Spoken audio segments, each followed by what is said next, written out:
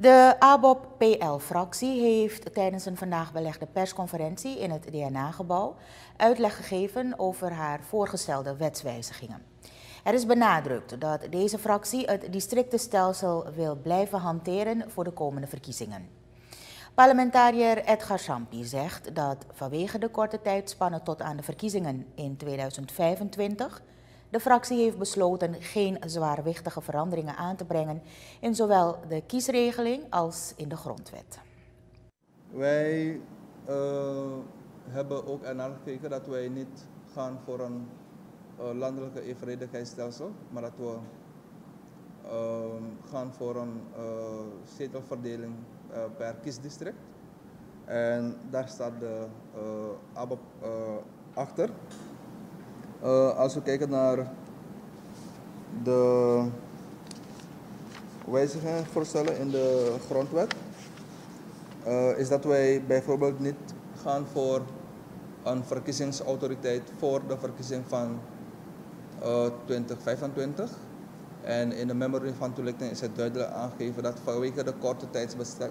Dus wij staan wel erachter dat er een onafhankelijke verkiezingsautoriteit komt.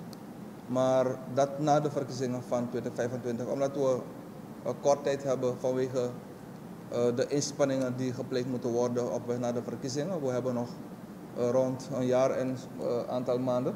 Na de beslissing van het Constitutioneel Hof voor wijziging van de kiesregeling hebben verschillende partijen sessies gehouden. De verschillende fracties in onze Nationale Assemblée trachten middels indiening van initiatiefvoorstellen invulling te geven aan de uitspraak van het Hof.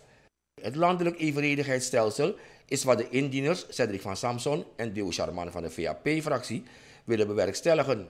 Fractieleider van de ABOP Obed Canapé zegt dat het landelijke evenredigheidsstelsel geen optie is voor de geel-zwarte partij. Volgens Canapé was de afspraak dat er een voorstel ingediend zou worden door DNA. In ons voorstel uh, heeft Paramaribo, uh, Paramaribo en Wanica de, de, uh, vanwege de grote de populatie van deze, deze districten komen ze in ons voorstel op uh, samen Paramaribo 21 zetel uh, en uh, district Wanica 11 zetel. Dat komt totaal op 32 zetel van de 51 zetels die er zijn. we hebben hier district Nikeri, die gaat van 5 naar 3 zetels. Kommerwijnen gaat naar 3 zetels of blijft op die, uh, de drie zetels. Sipaliwini gaat van vier naar drie. Brokoponde twee zetels. Marowijnen twee zetels. Uh, district Para drie zetels. Uh, district Saramaka twee zetels. En Coroni één zetel. En we hebben ook opgenomen elke district, elke district moet tenminste met één zetel vertegenwoordigd zijn. En dat is eigenlijk de grondslag om die ene zetel aan Coroni toe te kennen van vanwege dit voorstel dat we gedaan hebben. De ABO-fractie maakte duidelijk dat dit voorstel van de partij goed aansluit bij de uitspraak van het Constitutioneel Hof.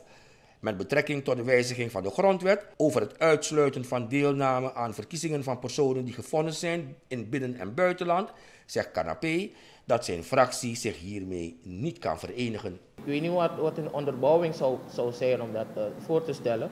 Maar het is iets dat ter discussie kan komen te, uh, in de Nationale Assemblée, waarbij we uh, uiteindelijk, uh, wanneer je praat over het, hebben of niet hebben van een strafblad, moet je het gaan definiëren. Want het kan zijn dat iemand voor, voor iets lousy in de gevangenis is beland ooit en uiteindelijk niet meer de, aan, als kandidaat voor president of vicepresident kan zijn.